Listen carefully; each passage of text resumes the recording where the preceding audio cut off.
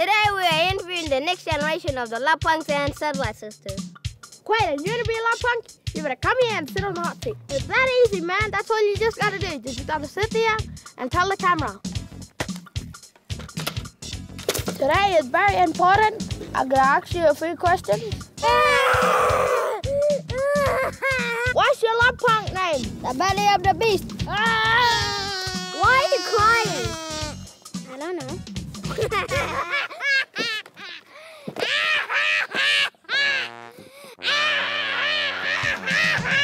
What are we gonna do with these kids? They need to learn how to be a Love Punk because if they don't, they'll never make the cut.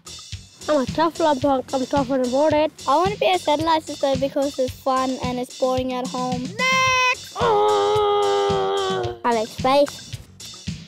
I like rockets. Are any decent Love Punks out or what? Baldhead, get off the phone. I'll give you a hiding. Next! I want to be a Love Punk.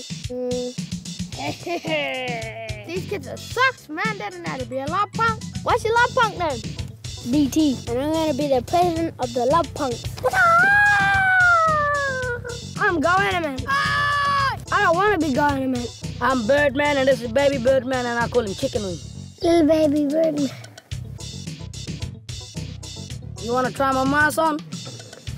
I'm the new general. I'm the baby birdman. Stop, Don't mess with me. I gotta talk. Can we please be satellite sisters? These kids, it sucks, man.